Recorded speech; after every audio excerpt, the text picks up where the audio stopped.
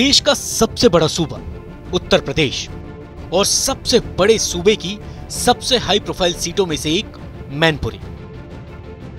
इन दिनों अपने नए निज़ाम की तलाश में है। मुलायम सिंह यादव के निधन के बाद खाली हुई मैनपुरी लोकसभा सीट पर वैसे तो उपचुनाव होने हैं, लेकिन तैयारी ऐसी कि जैसे पूरा प्रदेश ही चुनावी मूड में हो।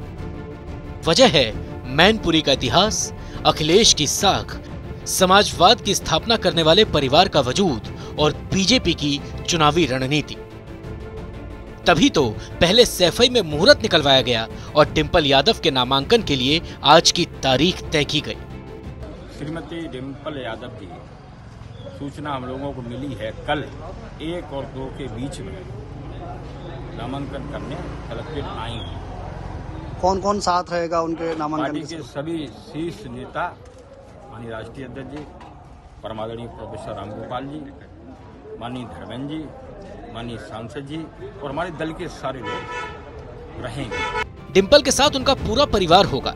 या ये कह लीजिए कि पूरी समाजवादी पार्टी ही रहेगी, क्योंकि सवाल साख का है।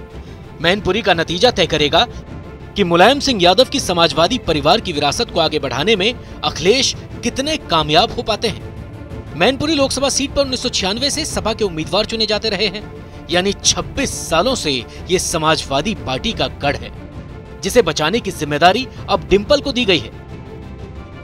ये बात अलग है कि डिम्पल यादव 2019 में कन्नौज से चुनाव लड़ी थी और बीजेपी उम्मीदवार सुब्रत पाठक से हार गई थी।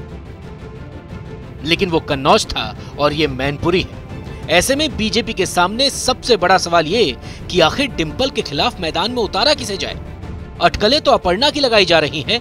अगर ऐसा हुआ तो जेठानी और देवरानी में तीखा मुकाबला देखने को मिलेगा। घर घर जा रहे हैं तैयारी कर रहे हैं और शीघ्र ही आपको प्रत्याशी घोषित हम करने करेंगे जैसे केंद्रीय नेतृत्व तो हरी झंडी देगा और भारतीय जनता पार्टी वहाँ प्रचंड बहुमत से चुनाव जीतेगी। क्या अपर्णा यादव पर भारतीय जनता पार्टी दांव खेल सकती है? अभी मैं कुछ कह नहीं सकता लेकिन ये सत्य आपको कुछ दिन बाद पता चलेगा। लेकिन भारतीय जनता पार्टी मैनपुरी और खतौली और जो रामपुर में उपचुनाव है, तीनों जगह भाजपा चुनी- चुनाव। बीजेपी भले ही सभी सीटें जीतने की बात कर रही हो, लेकिन मैनपुरी के जातीय समीकरण क्या कहते हैं, जरा वो भी समझ लीजिए।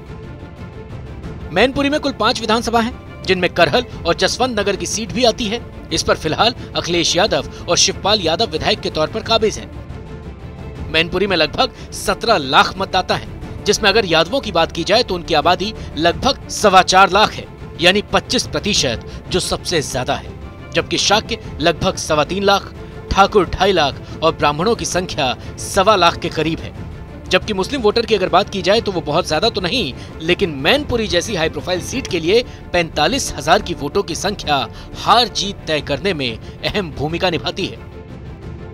और बीजेपी भी इस बात को बखूबी जानती है यही वजह है कि बीजेपी यहाँ कोई कोर कसर नहीं छोड़ना चाहती, क्योंकि एक तरफ़, जहाँ ये अखिलेश के सियासी भविष्य का सवाल है तो वहीं मैनपुरी का ये उपचुनाव बीजेपी के लिए 2024 की नई रणनीति का आधार।